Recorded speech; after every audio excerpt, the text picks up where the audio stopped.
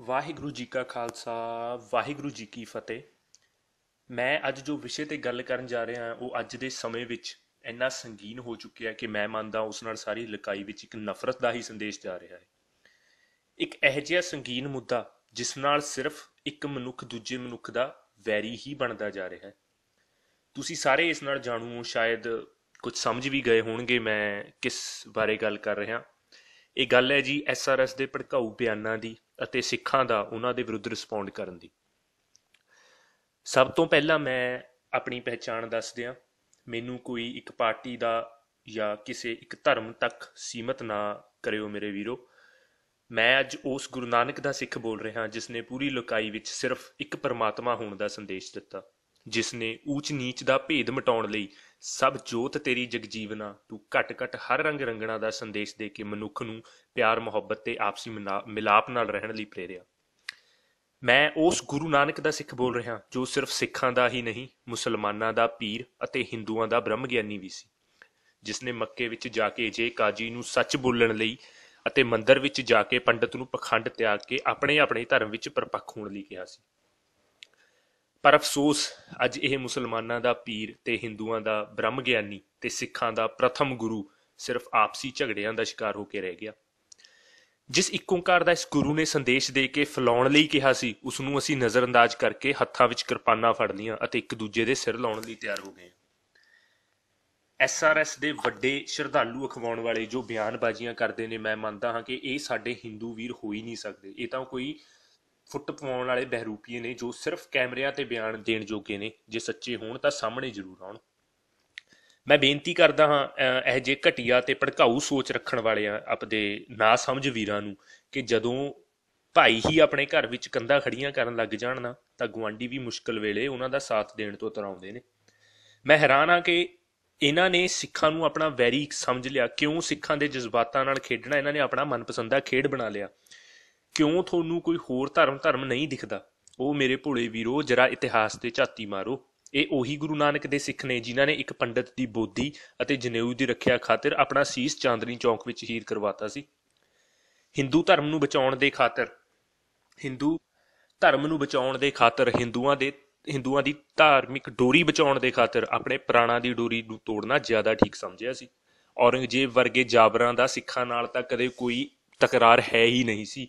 ਉਹ ਤਾਂ ਸਿਰਫ ਹਿੰਦੂਆਂ ਦੇ ਹਿੰਦੂਆਂ ਨੂੰ ਆਪਣੇ ਧਰਮ ਵਿੱਚ ਅਹ, ਆਉਣ ਲਈ ਮਜਬੂਰ ਕਰਦਾ ਸੀ ਪੰਡਤਾਂ ਨੂੰ ਮਜਬੂਰ ਕਰਦਾ ਸੀ ਕਿਉਂਕਿ ਉਸ ਸਮੇਂ ਦੇ ਸਕਾਲਰ ਮੰਨੇ ਜਾਂਦੇ ਸੀ। ਵੀ ਉਹ ਮੰਨਦਾ ਸੀ ਜੇ ਪੰਡਤਾਂ ਨੂੰ ਮੈਂ ਆਪਣੇ ਧਰਮ ਵਿੱਚ ਕਰ ਲੈਣਾ ਤਾਂ ਸਾਰੀ ਹਿੰਦੂ ਲੁਕਾਈ ਮੇਰੇ ਮੁਸਲਮਾਨ ਬਣ ਜੇਗੀ। ਕਿਉਂ? ਕਿਉਂਕਿ ਹਿੰਦੁਸਤਾਨ ਵਿੱਚ ਬਹੁਮਤ ਹਿੰਦੂਆਂ ਦੀ ਸੀ। ਸਿੱਖਾਂ ਨਾਲ ਤਾਂ ਉਹਦਾ ਕੋਈ ਅਸਲ ਵੈਰ ਹੈ ਹੀ ਨਹੀਂ ਸੀ। ਫਿਰ ਤੁਹਾਨੂੰ ਨਹੀਂ ਲੱਗਦਾ ਕਿ ਸਿੱਖ ਬੇਵਕੂਫ ਨੇ, ਜਿਨ੍ਹਾਂ ਨੇ ਉਂਝੇ ਆਪਣੀ ਟੰਗ ਵਿੱਚ ਅੜਾਈ ਕਿਸੇ ਦਾ ਧਰਮ ਬਚਾਉਣ ਲਈ ਅਤੇ ਸਮੇਂ ਦੀ ਹਕੂਮਤ ਨੂੰ ਆਪਣਾ ਵੈਰੀ ਬਣਾ ਲਿਆ। ਨਹੀਂ ਮੇਰੇ ਮਿੱਤਰੋ, ਇਹ ਬੇਵਕੂਫ ਨਹੀਂ, ਇਹ ਜਜ਼ਬਾਤੀ ਮਨੁੱਖ ਨੇ। ਇਹ ਗੁਰੂ ਨਾਨਕ ਦੇ ਇੱਕ ਹੋਣ ਦੇ ਸੰਦੇਸ਼ ਤੇ ਪਹਿਰਾ ਦੇਣ ਵਾਲੇ ਨੇ। ਇਹ ਹਿੰਦੂ ਨੂੰ ਆਪਣਾ ਵੀਰ ਤੇ ਮੁਸਲਮਾਨ ਨੂੰ ਆਪਣਾ ਭਾਈ ਸਮਝਣ ਵਾਲਿਆਂ ਚੋਂ ਨੇ। ਕਿਸੇ ਵੀ ਧਰਮ ਨਾਲ ਕੋਈ ਵੈਰ ਨਹੀਂ ਇਹਨਾਂ ਦਾ। ਸਗੋਂ ਜਦੋਂ ਜਦੋਂ ਕਿਸੇ ਨੂੰ ਵੀ ਲੋੜ ਪਈ ਹੈ, ਇਹ ਕਿਸੇ ਵੀ ਦੇਸ਼ ਵਿੱਚ ਹੋਣ, ਉੱਭਰ ਕੇ ਸਭ ਤੋਂ ਪਹਿਲਾਂ ਅੱਗੇ ਇੱਕ ਸਿੱਖ ਆਉਂਦਾ ਹੈ।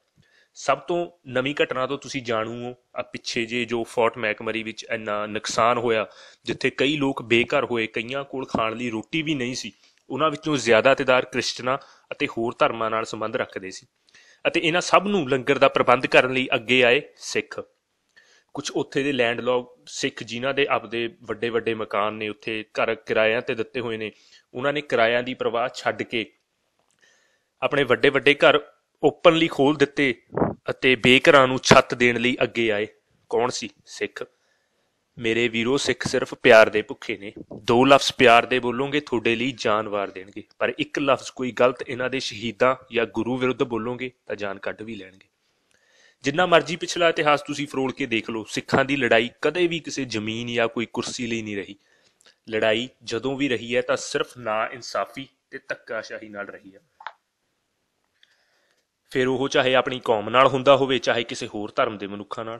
ਗੁਰੂ ਗੋਬਿੰਦ ਸਿੰਘ ਜੀ ਨੇ ਕਈ ਜੰਗਾਂ ਲੜੀਆਂ ਆਪਣੀ ਜ਼ਿੰਦਗੀ ਵਿੱਚ। ਕਿਸ ਲਈ? ਕੋਈ ਕਬਜ਼ਾ ਲੈਣ ਲਈ ਤਾਂ ਨਹੀਂ ਸੀਗੀਆਂ। ਬਸ ਹਕੂਮਤ ਦੇ ਗਲਤ ਵਿਚਾਰ, ਜੋ ਹਰੇਕ ਦੂਜੇ ਧਰਮ ਨੂੰ ਧੱਕੇ ਨਾਲ ਆਪਣਾ ਬਣਾਉਣ ਤੇ ਮਜਬੂਰ ਕਰਦੇ ਸੀ, ਉਹਨਾਂ ਵਿਚਾਰਾਂ ਦੇ ਵਿਰੁੱਧ ਜੰਗਾਂ ਲੜੀਆਂ ਸੀ। ਮੈਂ ਤਾਂ ਸਿਰਫ ਹੱਥ ਜੋੜ ਕੇ ਬੇਨਤੀ ਕਰਦਾ ਹਾਂ ਉਹਨਾਂ ਭੜਕਾਊ ਵੀਰਾਂ ਨੂੰ ਕਿ ਇਹ ਜੇ ਬਿਆਨ ਦੇ ਕੇ ਆਪਣੇ ਹੀ ਘਰ ਵਿੱਚ ਕੰਧਾਂ ਖੜੀਆਂ ਨਾ ਕਰੋ। ਇਹਨਾਂ ਗੱਲਾਂ ਤੋਂ ਉੱਪਰ ਉੱਠ ਕੇ ਆਪਣੇ ਆਲੇ ਦੁਆਲੇ ਝਾਤੀ ਮਾਰੋ। ਦੁਸ਼ਮਣ ਅੱਖਾਂ ਗੜੋਈ ਬੈਠਾ।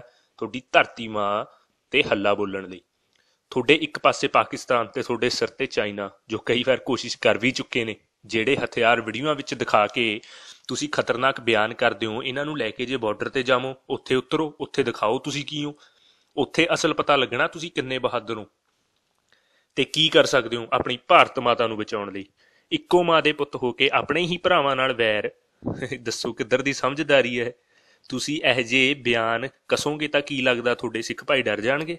ਇਹ ਤਾਂ ਕਮਲੇ ਨੇ ਆਪਣੇ ਗੁਰੂ ਤੇ ਆਪਣੇ ਸ਼ਹੀਦਾਂ ਦੀ ਇੱਜ਼ਤ ਬਚਾਉਣ ਲਈ ਜਿੰਨ, ਜਾਨਾਂ ਬਿਨਾਂ ਸੋਚੇ ਵਾਰ ਸਕਦੇ ਨੇ। ਇਸ ਕੌਮ ਦਾ ਇਤਿਹਾਸ ਤੋਂ ਤੁਸੀਂ ਜਾਣੂ ਹੋ ਜੇ ਨਹੀਂ ਤਾਂ ਮੈਂ ਬੇਨਤੀ ਕਰਦਾ, ਪੰਨੇ ਇਤਿਹਾਸ ਦੇ ਫਰੋਲ ਕੇ ਦੇਖੋ।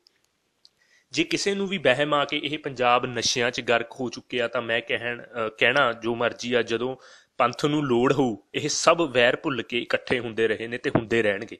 ਸਾਡੀ ਕੋਈ ਦੁਸ਼ਮਣੀ ਨਹੀਂ ਵੀਰਿਓ ਹਿੰਦੂ ਧਰਮ ਨਾਲ ਅਸੀਂ ਤਾਂ ਮੁੱਢ ਤੋਂ ਇਸ ਧਰਮ ਦੇ ਸਿਰ ਦੀ ਛੱਤ ਬਣਦੇ ਆਏ ਆ। ਮੈਂ ਫੇਰ ਕਹਿਣਾ, ਇਤਿਹਾਸ ਦੇ ਪੰਨੇ ਫਰੋਲ ਕੇ ਦੇਖ ਲਓ, ਮੁੱਢ ਤੋਂ ਹਿੰਦੂ ਧਰਮ ਦੇ ਸਿਰ ਦੀ ਛੱਤ ਸਿੱਖ ਕੌਮ ਬਣਦੀ ਆਈ ਆ। ਇਸ ਧਰਮ ਦੀ ਰੱਖਿਆ ਲਈ ਸ਼ਹੀਦੀਆਂ ਦਿੰਦੇ ਆਏ ਆ ਤੇ ਅੱਜ ਤੁਹਾਡੇ ਦਿਲਾਂ 'ਚ ਇਹ ਵਹਿਮ ਕਿਨੇ ਵਾੜਤਾ ਕਿ ਅਸੀਂ ਤੁਹਾਡੇ ਦੁਸ਼ਮਣ ਆ? ਰਹੀ ਗੱਲ ਖਾਲਿਸਤਾਨ ਦੀ, ਇਹ ਇੱਕ ਸੋਚ ਹੈ। ਇਹ ਇੱਕ ਕਿਤਾਬ ਜਿਸ ਦੇ ਵਿੱਚ ਜੋ ਧੱਕੇ ਹੋ ਰਹੇ ਨੇ ਸਿੱਖਾਂ ਨਾਲ ਉਸ ਦੀ ਲਿਸਟ ਦਰਜ ਹੈ।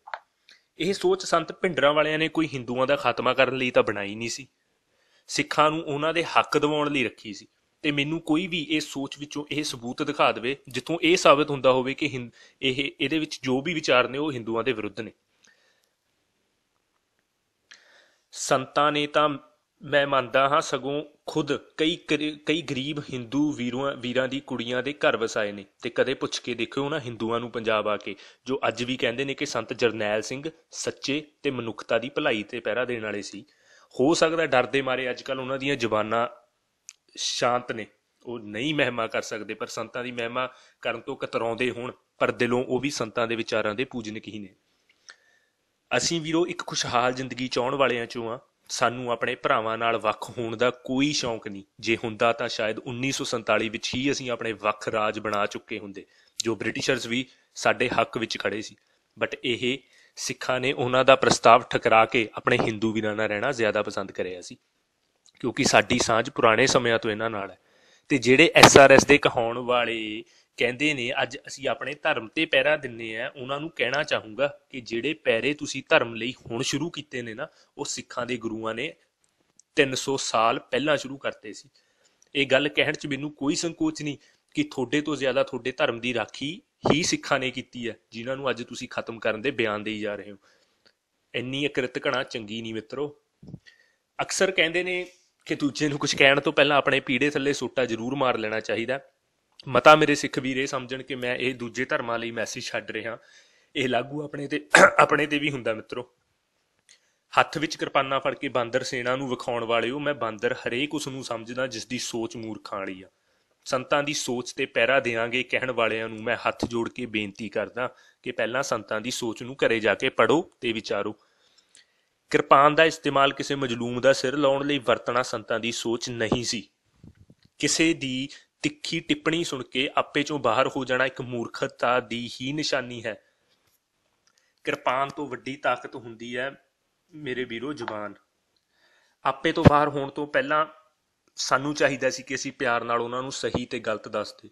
ਭਿੰਡਰਾਂ ਵਾਲਿਆਂ ਦੀ ਸੋਚ ਸੀ ਹਰੇਕ ਸਿੱਖ ਪਹਿਲਾਂ ਪੱਕਾ ਸਿੱਖ ਬਣੇ ਅੰਮ੍ਰਿਤ ਛਕੇ। ਕੀ ਇਹ ਖਾਲਿਸਤਾਨ ਜਿੰਦਾਬਾਦ ਦੇ ਨਾਰੇ ਲਗਾਉਣ ਵਾਲਿਆਂ ਨੇ ਇਹ ਸੋਚ ਪਹਿਲਾਂ ਅਪਣਾਈ ਆ? ਕੀ ਇਹਨਾਂ ਨਾਰੇ ਲਗਾਉਣ ਵਾਲਿਆਂ ਨੇ ਆਪਣੇ ਕੇਸ ਸੰਭਾਲੇ ਨੇ? ਕੀ ਇਹਨਾਂ ਨੇ ਹਰੇਕ ਮਨੁੱਖ ਵਿੱਚ ਪਰਮਾਤਮਾ ਦੀ ਇੱਕ ਜੋਤ ਵੇਖੀ ਆ? ਕੀ ਇਹ ਨਿਤਨੇਮ ਦੇ ਧਾਰਨੀ ਹੈਗੇ ਨੇ? ਪਹਿਲਾਂ ਆਪਣਾ ਰੂਪ ਤਾਂ ਆਪਾਂ ਸਵਾਰ ਲਈਏ ਮਿੱਤਰੋ, ਦੂਜੇ ਨੂੰ ਫੇਰ ਸੋਧਣ ਚੱਲਿਓ। ਤੇ ਬੇਨਤੀ ਆ ਮੇਰੀ ਭਿੰਡਰਾਂ ਵਾਲਿਆਂ ਜੀ ਦੀ ਸੋਚ ਤੇ ਪੈਰਾਂ ਦੇ ਆਂਗੇ ਠੋਕ ਕੇ ਦੇ ਨਾਰੇ ਲਾ ਕੇ ਗਲਤ ਮੈਸੇਜ ਕਤਲੇਆਮ ਦਾ ਇਸ ਦੁਨੀਆ ਵਿੱਚ ਨਾ ਖਲਾਰੋ। ਬਹੁਤ ਉੱਚੀ ਤੇ ਸੁੱਚੀ ਸੋਚ ਸੀ ਸੰਤਾਂ ਦੀ। ਪਹਿਲਾਂ ਉਸ ਨੂੰ ਵਿਚਾਰੋ ਤੇ ਉਸ ਤੇ ਫਿਰ ਖਰੇ ਉਤਰਿਓ। ਮੈਂ ਕੋਈ ਬਹੁਤ ਗਿਆਨੀ ਨਹੀਂ ਆ, ਮੈਂ ਵੱਡੇ ਵੱਡੇ ਲੈਕਚਰ ਦੇ ਰਿਹਾ, ਮੈਨੂੰ ਮਾਫ ਕਰਿਓ। ਕੋਈ ਬੋਲਾ ਮੈਨੂੰ ਧਰਮ ਗ੍ਰੰਥਾਂ ਦਾ ਗਿਆਨ ਵੀ ਨਹੀਂ ਆ, ਪਰ ਇੰਨਾ ਕੁ ਵਿਸ਼ਵਾਸ ਜ਼ਰੂਰ ਆ, ਚਾਹੇ ਗੀਤਾ ਹੋਵੇ, ਚਾਹੇ ਕੁਰਾਨ, ਕੋਈ ਵੀ ਧਰਮ ਨਫ਼ਰਤ ਦਾ ਸੰਦੇਸ਼ ਜਗਤ ਵਿੱਚ ਫੈਲਾਉਣ ਲਈ ਨਹੀਂ ਕਹਿ ਸਕਦਾ। ਕੋਈ ਵੀ ਗ੍ਰੰਥ ਕਿਸੇ ਨੂੰ ਧੱਕੇ ਨਾਲ ਆਪਣੇ ਧਰਮ ਵਿੱਚ ਲਿਆਉਣ ਲਈ ਮਜਬੂਰ ਨਹੀਂ ਕਰ ਸਕਦਾ। ਕੋਈ ਗੱਲ ਗਲਤ ਲੱਗੀ ਹੋਵੇ, ਜਰੂਰ ਮੈਨੂੰ ਤਾੜਨਾ ਕਰਿਓ ਜੀ। ਮੇਰਾ ਨਾਮ ਆ ਅਮਰਿਤਪਾਲ ਸਿੰਘ ਤੇ ਮੇਰੀ ਈਮੇਲ ਆਈਡੀ ਆ asingh511@gmail.com ਮੇਰੀਆਂ ਗਲਤੀਆਂ ਤੇ ਜਰੂਰ ਚਾਨਣਾ ਚਾਨਣਾ ਪਾਉਣਾ ਅਤੇ ਮੇਰੇ ਇਸ ਮੈਸੇਜ ਨੂੰ ਕਿਰਪਾ ਕਰਕੇ ਉਹਨਾਂ ਤੱਕ ਜਰੂਰ ਪਹੁੰਚਣਾ, ਪਹੁੰਚਦਾ ਕਰਨਾ ਜੋ ਪਟਕਾ, ਭੜਕਾਊ ਬਿਆਨ ਦਿੰਦੇ ਨੇ। ਹੋਰ ਕੋਈ ਸੁਣੇ, ਨਾ ਸੁਣੇ, ਮੈਨੂੰ ਇੰਨਾ ਫ਼ਰਕ ਸ਼ਾਇਦ ਨਹੀਂ ਪਊਗਾ, ਪਰ ਇਹਨੂੰ ਇੰਨਾ ਸ਼ੇਅਰ ਜਰੂਰ ਕਰ ਦਿਓ ਕਿ ਜੋ ਵੀ ਕੋਈ ਇਹਨੂੰ ਮੈਸੇਜ ਸੁਣ ਕੇ ਇਹ ਉਹਨਾਂ ਤੱਕ ਜਰੂਰ ਪਹੁੰਚਾਏ ਜੋ ਗਲਤ ਸਮਝ ਕੇ ਸਿੱਖਾਂ ਨੂੰ ਸਿੱਖਾਂ ਨੂੰ ਗਲਤ ਬਿਆਨ ਦੇਈ ਜਾਂਦੇ ਨੇ। ਬਸ ਇੰਨੀਆਂ ਕੁ ਬੇਨਤੀ ਸੀ ਜੀ। ਬਹੁਤ ਬਹੁਤ ਧੰਨਵਾਦ ਸੁਣਨ ਲਈ। ਵਾਹਿਗੁਰੂ ਜੀ ਕਾ ਖਾਲਸਾ ਵਾਹਿਗੁਰੂ ਜੀ ਕੀ ਫਤਿਹ।